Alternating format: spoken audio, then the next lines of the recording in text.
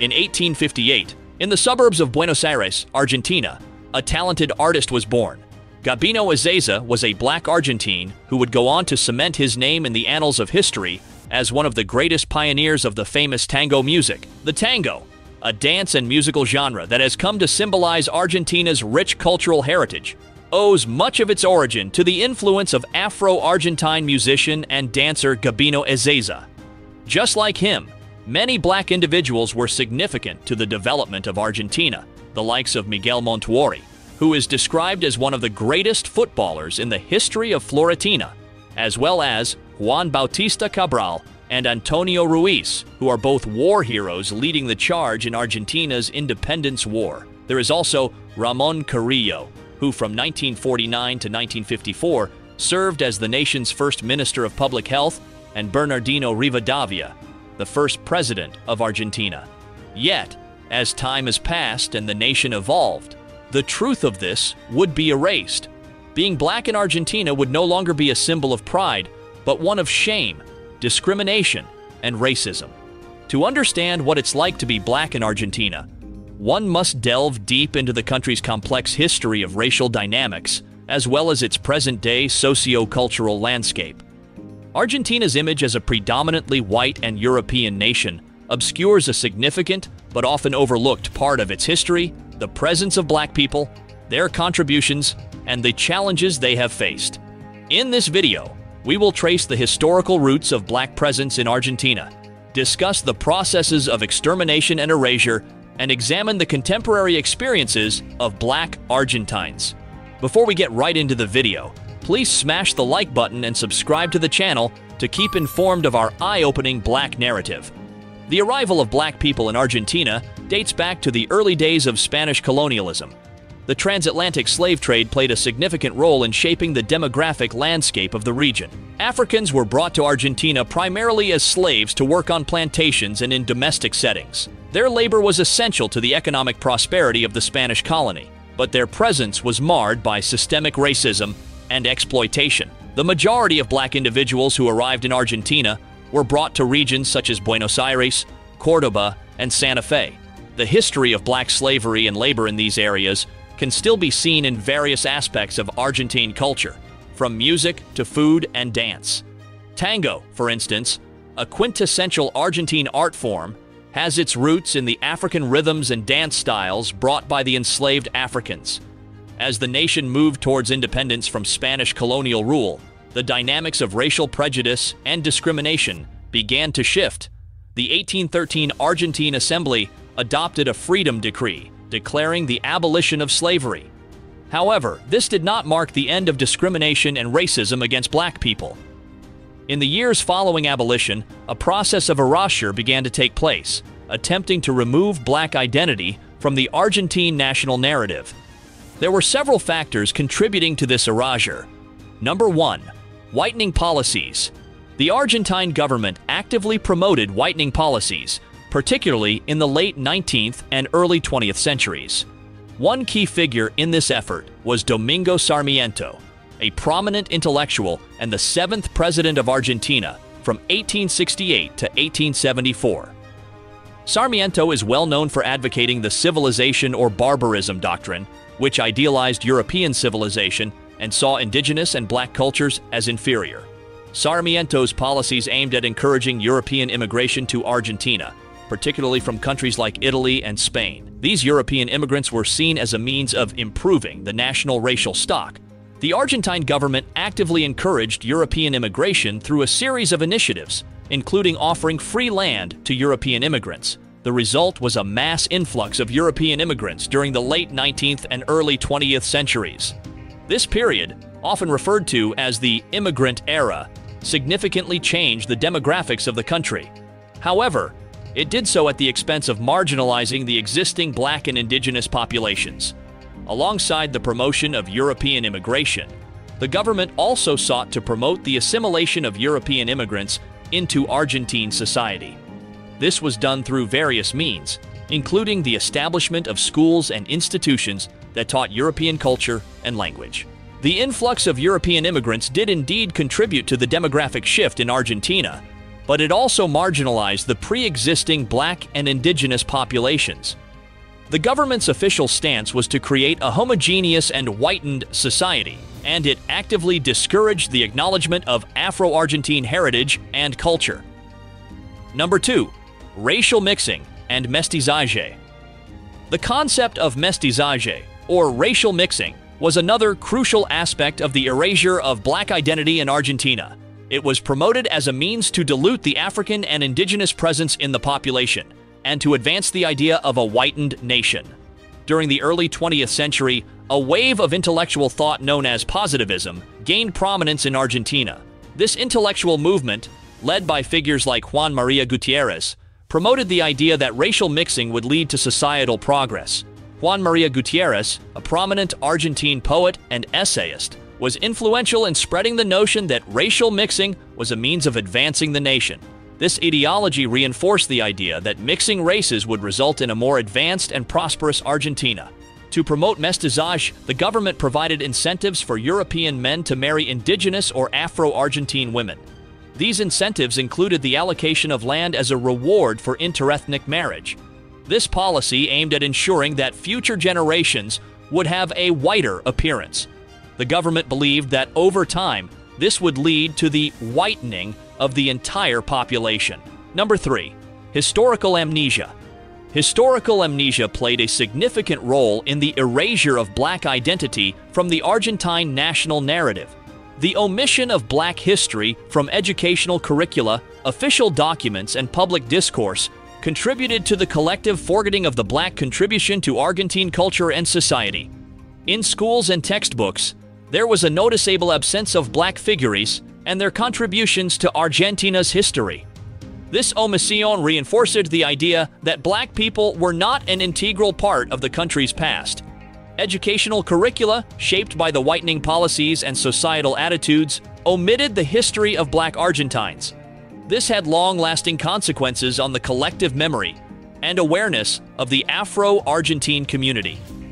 The erasure of black identity extended beyond history and education. It permeated the cultural landscape as well. Black cultural contributions, such as music and dance, were often de-emphasized or credited to European influences. Tango, a quintessential Argentine art form, is a prime example of this phenomenon. While its roots are deeply intertwined with African rhythms and dance styles, the African influence in its development was often overlooked or minimized. With such dark history of racial discrimination and prejudice against black people in Argentina, you can only begin to imagine what the reality must feel like.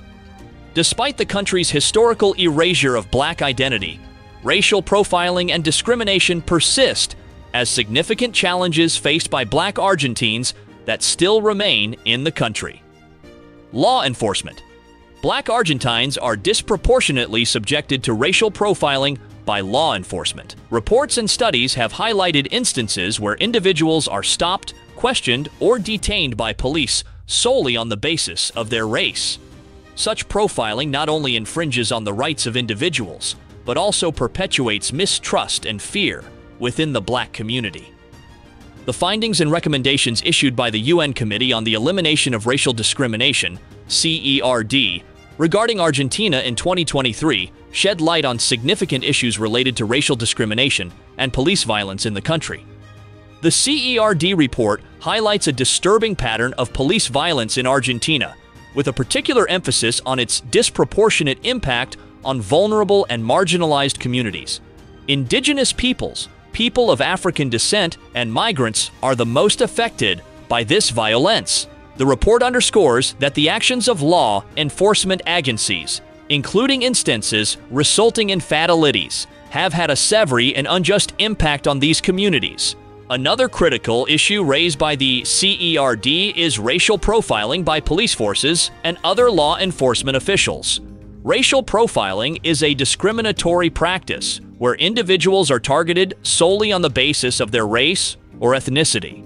This practice leads to a higher likelihood of harassment, violence, and unwarranted arrests for individuals from marginalized backgrounds. Education. Access to quality education is a fundamental right that is often hindered for black Argentines. segregated and underfunded schools, coupled with a lack of inclusive curricula that acknowledge black history and contributions, perpetuate systemic inequalities. The disparities in education can have a profound impact on the future prospects of black students, limiting their opportunities for personal and professional growth. Segregated schools, though less overt than in the past, continue to exist and they disproportionately serve black communities. This de facto segregation results in unequal access to educational resources and opportunities. Students in these schools often face overcrowded classrooms, outdated materials, and limited extracurricular activities, all of which can negatively affect their learning experience. Furthermore, underfunding is a persistent issue in many schools, serving predominantly black populations. These schools often receive fewer resources, such as up-to-date textbooks, well-maintained facilities, and experienced teachers. The unequal distribution of resources perpetuates educational disparities and reinforces systemic inequalities that disadvantage black students. The lack of inclusive curricula is another significant barrier. Educational materials rarely acknowledge black history and contributions, which perpetuates historical amnesia and the erasure of black identities from the national narrative. This omission not only fails to recognize the rich and diverse history of black Argentines, but also reinforces the idea that their contributions are unimportant. As a result, black students may grow up without a sense of belonging or validation in the education system, which can negatively affect their self-esteem and motivation to learn. Discrimination in schools, whether from peers or educators, further compounds the challenges faced by black students. Students may encounter racial bias and stereotypes, which can result in exclusion, bullying, and a hostile learning environment.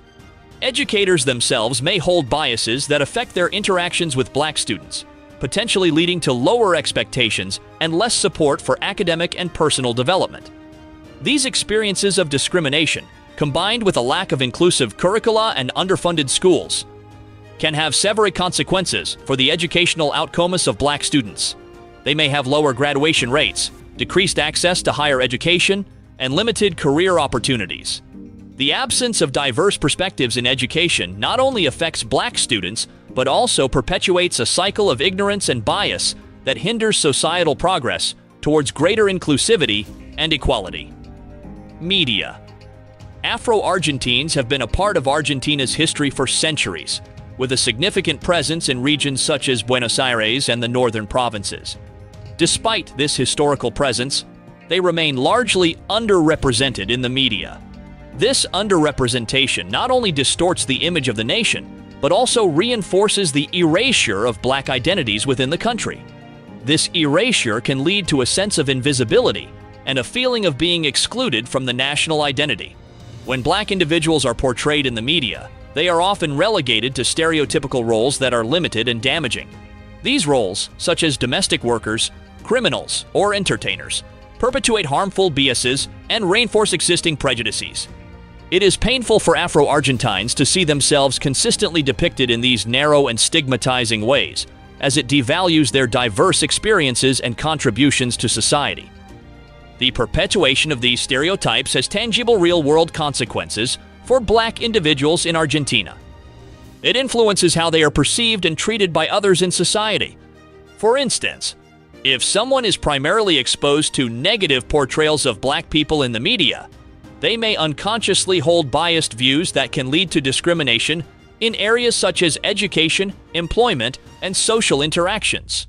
Afro-Argentines may face microaggressions, racial profiling, and even overt acts of discrimination due to these stereotypes.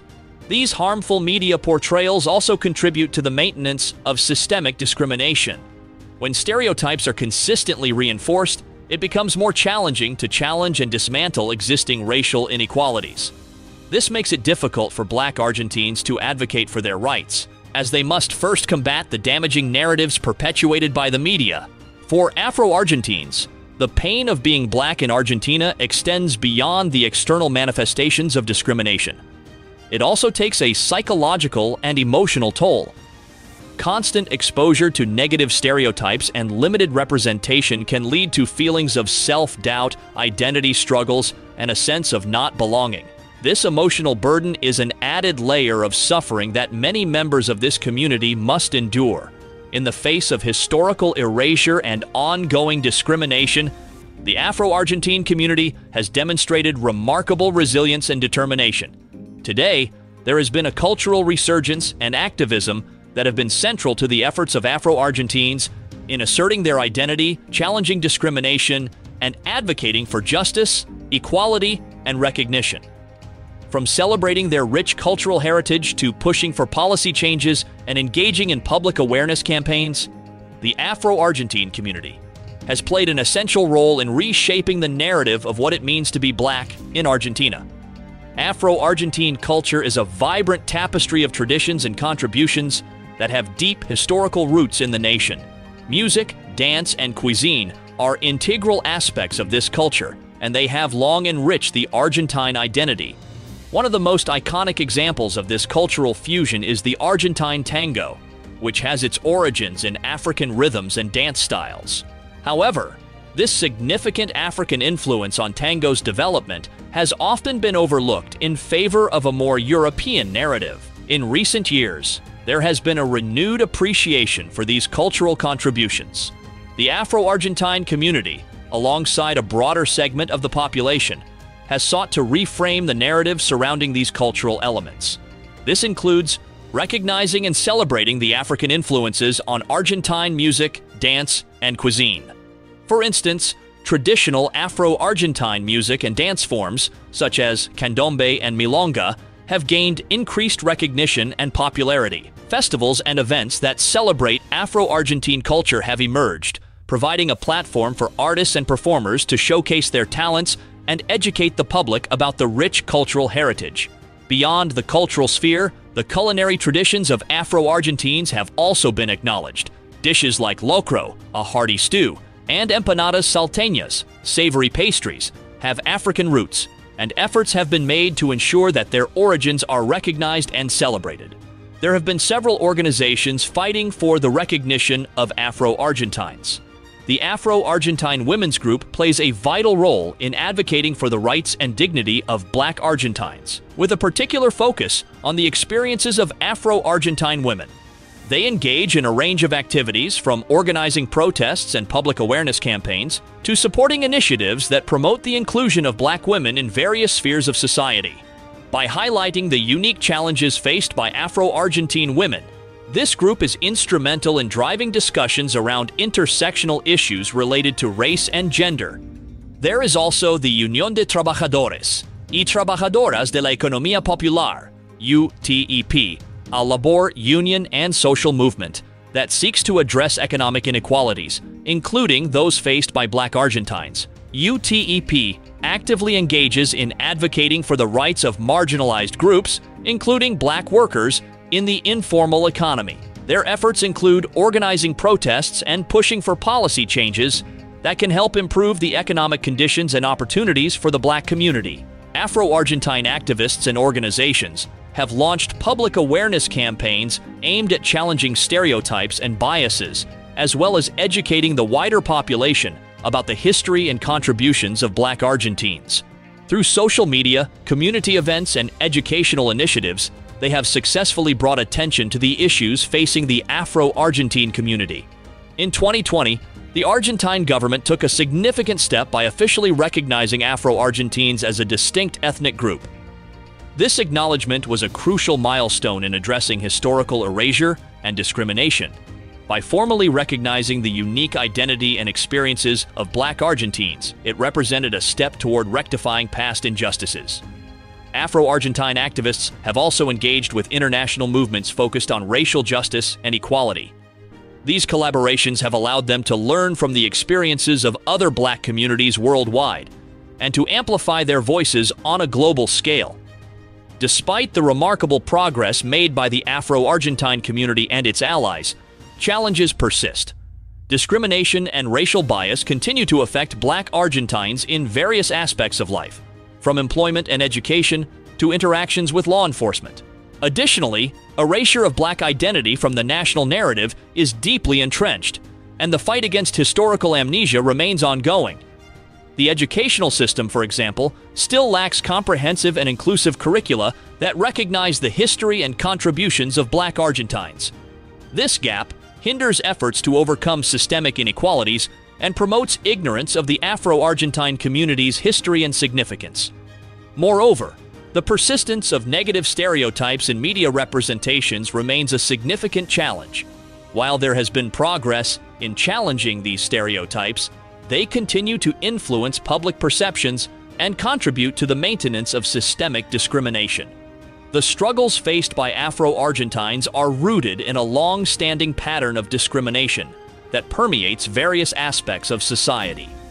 Despite the enduring legacy of systemic biases and historical amnesia, the Afro-Argentine community has shown remarkable resilience in asserting its identity, challenging discrimination, and advocating for a more equitable and inclusive Argentina.